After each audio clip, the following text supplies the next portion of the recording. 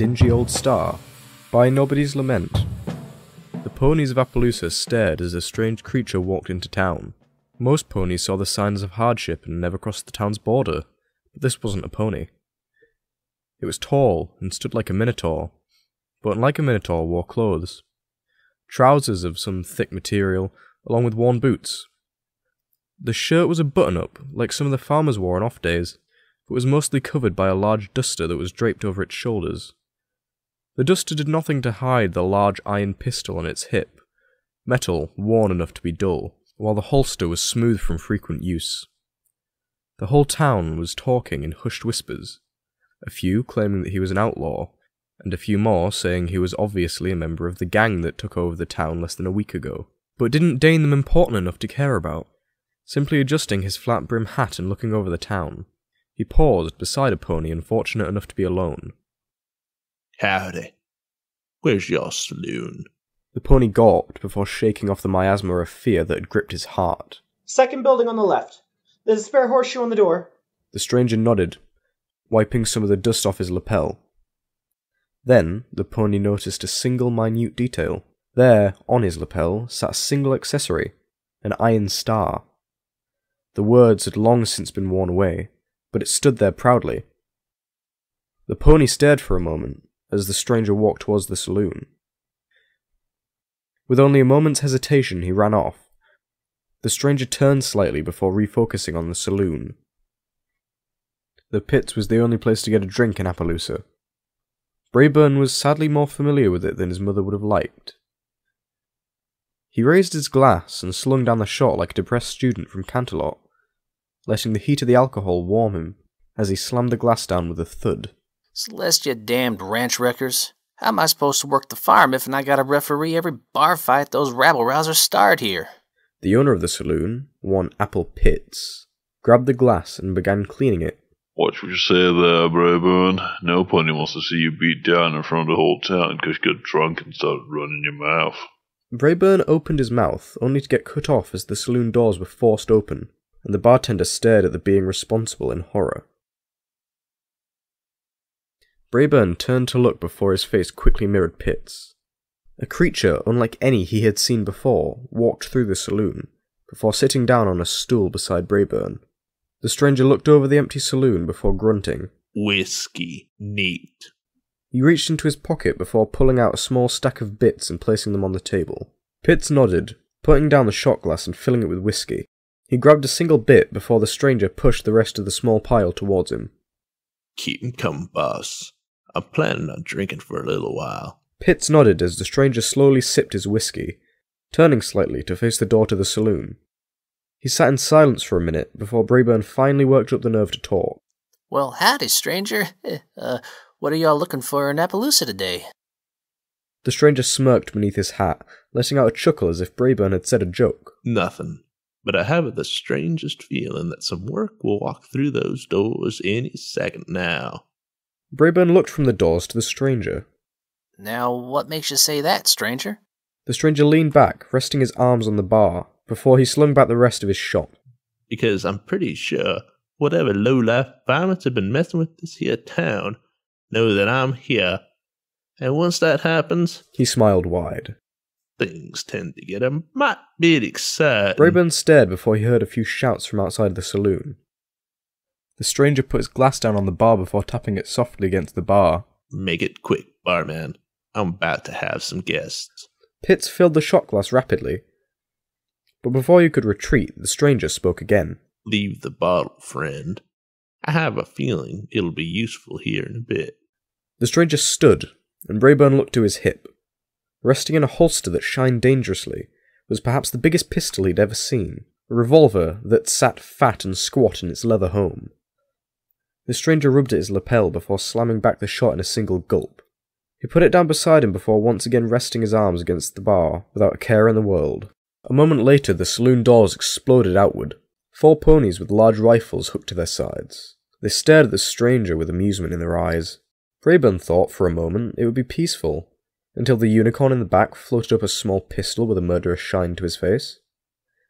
The one in front was the leader, well known for beating any pony in town who got in his way, though none actually knew his name. Well, now, seems like a freak lost in my town. He trotted up slowly, staring down the stranger with an appraising look. Yet there was a marshal in town looking for trouble. That you? The stranger let out a short laugh. Trouble? Me? No. I'm just here looking for a drink. He reached behind him, grabbing his whiskey bowl. He took a swig from it before offering it to the boss. The boss stared at it for a moment.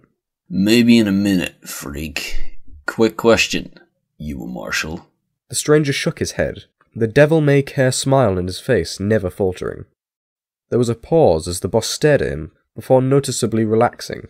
The thugs behind him did the same, with the unicorn looking almost disappointed at the peaceful way things were resolved. At least, until the stranger spoke again.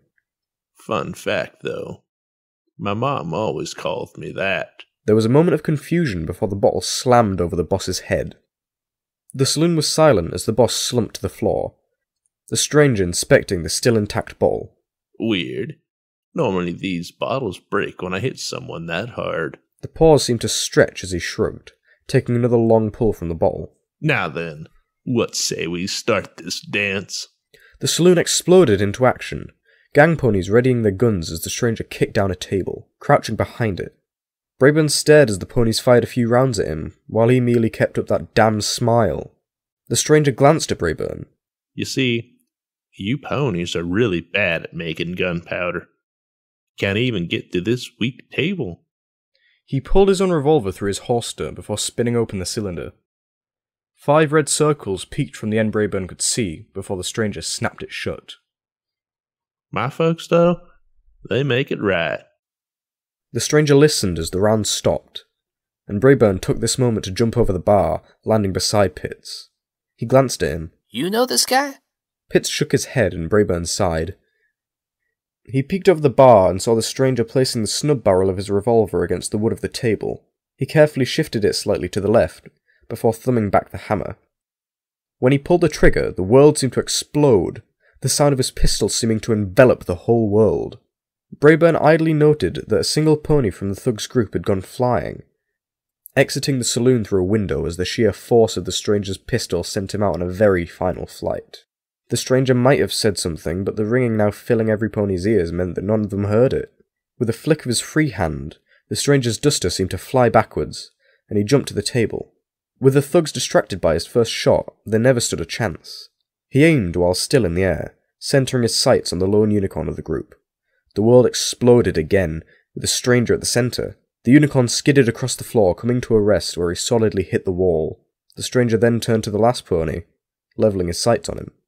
No pony heard what he said, but the pony seemed to pick up on the fact that he was still alive and bit at his rifle's retaining strap, letting it drop to the floor. The stranger held firm, his smirk never leaving him, even as the ringing in Braeburn's ears faded. Finally, he could hear the stranger's deep voice again. Now then, can you hear me? The thug nodded, and the stranger smiled.